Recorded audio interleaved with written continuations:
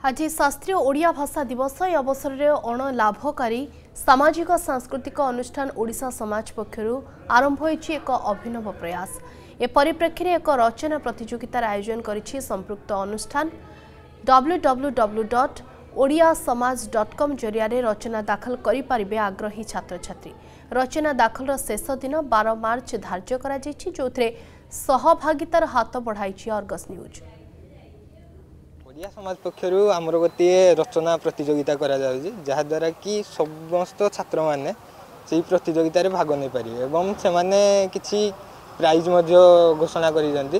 ତ ଏହାଦ୍ୱାରା ସେମାନେ ଆମର ଓଡ଼ିଆ ଭାଷାର ଉନ୍ନତି କରିବାକୁ ବହୁତ ଭଲ ପ୍ରଚେଷ୍ଟା କରିଛନ୍ତି ତ ସେମାନେ କେବଳ ଓଡ଼ିଆ ଭାଷାର ହିଁ ନୁହଁ ଓଡ଼ିଆ ସଂସ୍କୃତି ସାହିତ୍ୟ କଳା ଏହି ସମସ୍ତ ଜିନିଷର ଦିଲ୍ଲୀରେ ଉନ୍ନତି ପାଇଁ ବହୁତ ପ୍ରଚେଷ୍ଟା କରୁଛନ୍ତି। ଏହା କେବଳ ଦେଶ ସ୍ତରରେ ନୁହେଁ ସମ୍ପୂର୍ଣ୍ଣ ବିଶ୍ୱ ସ୍ତରରେ ଆମ ଓଡ଼ିଆ ଭାଷାର ଉନ୍ନତି ସେମାନେ କରିବାକୁ ଚେଷ୍ଟା କରୁଛନ୍ତି। ତ ସେଥିପାଇଁ ମୁଁ ଅନୁଗୁଳ କଲେଜ ତରଫରୁ ଓଡ଼ିଆ ସମାଜକୁ ବହୁତ ବହୁତ ଧନ୍ୟବାଦ ଦେବାକୁ ଚାହିଁବି। ଅନୁଗୁଳ ଅଟୋନମସ୍ କଲେଜକୁ ଓଡ଼ିଆ ସମାଜର କାର୍ଯ୍ୟ ପାଇଁ ପ୍ରଶଂସା ଜଣାଉଛି। ଆଉ ଓଡ଼ିଆ ସମାଜ କେବଳ ଭାଷା ପାଇଁ ତ ନୁହଁ ଓଡ଼ିଆର ଆମର ସଂସ୍କୃତି ପରମ୍ପରା ସବୁକୁ ଗୁରୁତ୍ୱ ଦେଇଛି। ତ ଆମ ଅନୁଗୁଳ ବି ଗୋଟେ କଳା ସଂସ୍କୃତି ଓ ସାହିତ୍ୟର କେନ୍ଦ୍ର।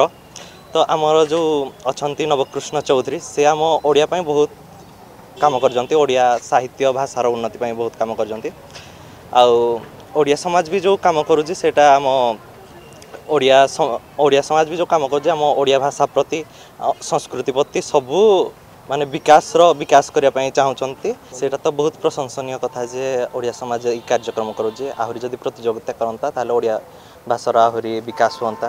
ଓଡ଼ିଆ ଭାଷା ଆନ୍ତର୍ଜାତିକ ସ୍ତରରେ ବହୁତ ଉନ୍ନତି କରନ୍ତା ପିଲାମାନଙ୍କର ଭାଷାରେ ଉନ୍ନତି ହେବ ତାପରେ ଓଡ଼ିଆ ଭାଷା ପ୍ରତି ତାଙ୍କର ଯେଉଁ ଅଛି ଯେ ଆମେ କହିବୁନି ଆମେ ଇଂଗ- ଇଂରାଜୀରେ କହିବୁ ସେ ଭାଷା ପ୍ରତି ତାଙ୍କର ମୋହ ଛାଡ଼ିବ ଆଉ ଆମ ମାତୃଭାଷା ପ୍ରତି ମୋହଟା ଆହୁରି ଅଧିକ ହେବ ଆଉ ଓଡ଼ିଆ ଭାଷାକୁ ଗୁରୁତ୍ୱ ଅଧିକ ଦିଆଯିବ ସବୁ କାର୍ଯ୍ୟରେ